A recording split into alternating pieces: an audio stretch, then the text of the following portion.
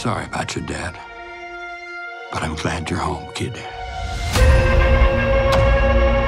Senator? Parker, Welcome back. people like you around here. They like Harry, or l- liked him. I'd like to keep it that way. I don't think his death was an accident. Parker, stay out of it. See if there's a safe.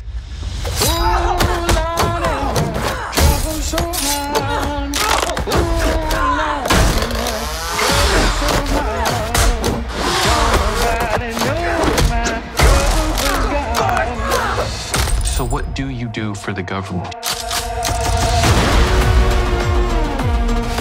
How's on? What do you know about Senator Swan? What the hell you got into? How much does Parker know about this? Too much. This is about more than just my dad. I need to know the truth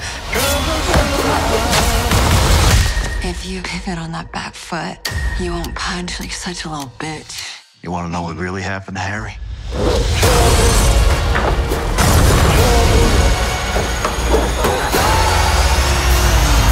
Don't nobody know my trouble.